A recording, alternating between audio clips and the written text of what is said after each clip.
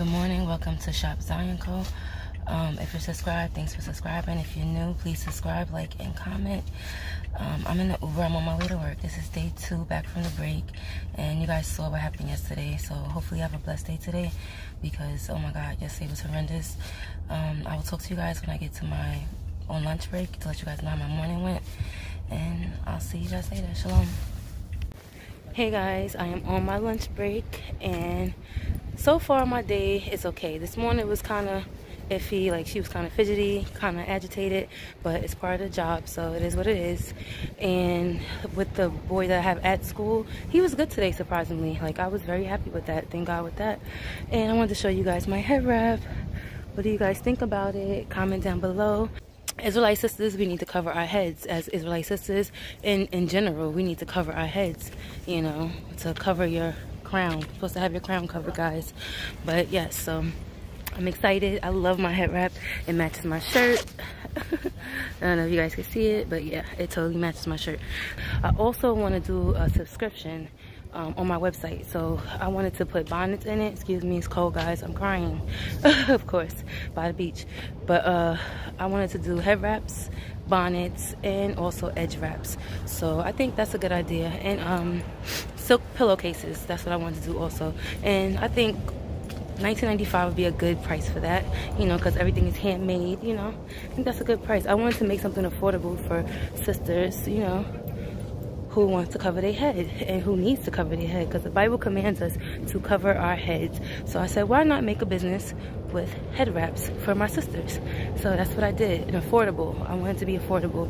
So I'm, you know, perfecting my craft so that's what I'm doing before I launch it. So let me let me know down below if you think that's a good idea. What I wanted to talk about was sister wraps. So this week what I did was I made a lot of wraps and I wanted to practice. So this is what I did. This is one of my wraps that I made. So let me know if you like. And pretty soon I'm gonna be launching the website. And I'm also gonna, you know, reach out to some vendors because I saw a lot of head wraps that I like. So I'm gonna reach out to some vendors. Okay guys, here we go. This is the beach, nice and loud. Wow, look at that, let me zoom in. Look, listen to that.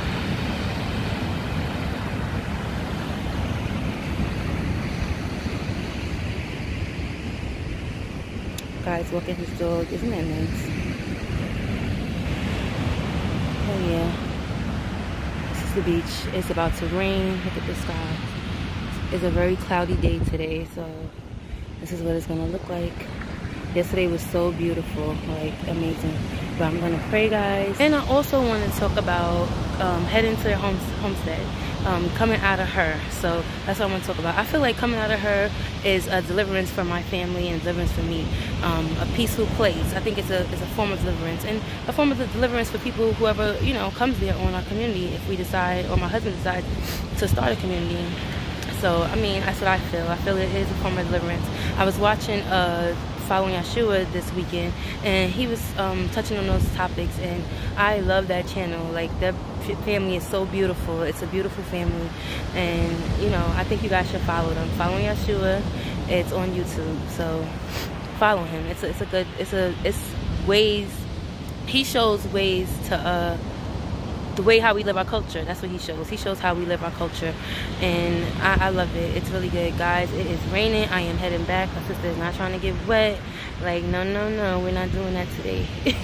but I'm not trying to get sick either because so much stuff going on around. No, no. Yes, guys. So on the weekends, my husband he allows me to watch Following Yeshua and his family. They do like about a three, four hour. Uh, live and it's amazing. Like he touches on so many subjects and me and my family um, we watch it on Saturdays and on Friday nights. I think it's between 6:45 at night and it's amazing. Like oh my god we learned so much from his uh, his YouTube because they, they are doers and that is exactly what we want to do. So on my channel, you're going to see us doing a lot as like we grow stuff. We've been growing stuff for two years in the apartment. So we've been practicing growing for two years. So I'm going to show you guys what we did when on one of my videos i'm going to show you like how we grow and what we grow and you know how you can do it in an apartment so I want to show you guys how we do it as well as showing you how I make the you know head wraps and also the formulas for my skincare line or beauty line however you guys want to call it. So i'm really excited and we're really excited. So please subscribe like comment. One last thing i want to talk about. I never talked about this on my channel and i want to talk about it um, I was talking about, you know, going to the homestead and how you feel delivered and stuff like that. But you also will escape the plagues and the famines. Like right now, they have the coronavirus going out right now. But if you were on your own land and you had your food storage and you had everything you need, you wouldn't even have to go out right now. And that's the whole purpose of being separate. The Bible says, come out of her. So I was talking about, about that to my mother today. And I was like, you know, it's very scary. Like me going to work every day, every time somebody cough, I'm like, cover your mouth. Like I don't know what they got. So it's like very nervous and very scary. So please think about coming out of her and be separate because this is just the beginning. You never know how bad this can really get because in China it's really bad. And it's not to say that it cannot come here because it can. But that's all I wanted to say. And food for thought. um, shalom, guys.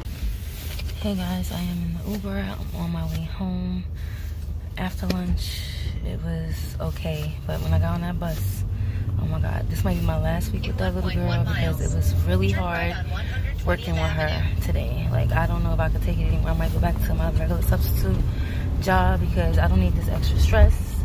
This is not my child. And anytime you feel like you don't like a job, you know what I'm saying, and it's getting too hard and getting stressed out, you can't sleep and all that stuff like that, that means that job is not for you. So I might be leaving this job by the end of this week because I have a whole family at home. I have other things I'm doing and I cannot be getting stressed out behind no job. So that is something that I'm really seriously thinking about. I'm going to talk to my husband about it and I might go back to something subbing after Friday because it's too much. I think I'm gonna try to sit on the other side of her and see what happens because I think when I sit too close to her, she kind of freaks out. I don't know.